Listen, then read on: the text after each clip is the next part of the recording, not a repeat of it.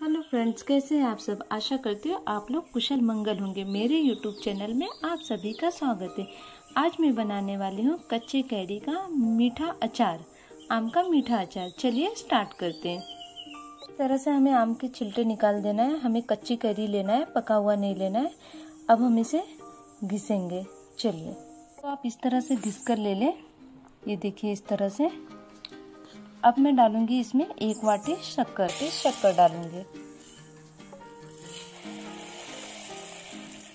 आम और शक्कर को हमें दोनों को मिक्स कर लेना है।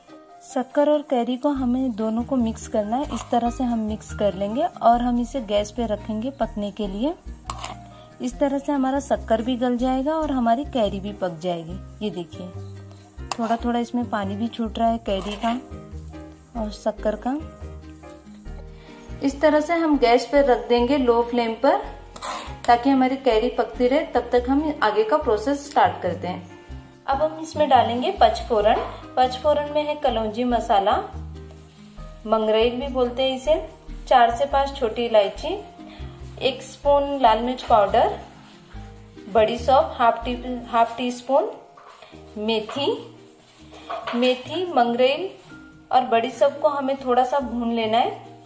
और इलायची को दरदरा करके हमें डालना है। इस तरह से हमें थोड़ा पचफोरन को दरदरा कर लेना है और इलायची को इस तरह से कूट के ले लेना है। चलिए, अब हम पचफोरन को डालते हैं।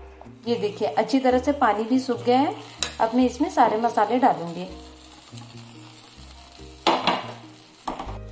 ये देखिए, हमें इस तरह से मिक्स करना है। हमारा अचार बनकर रेडी है। ये देखिए।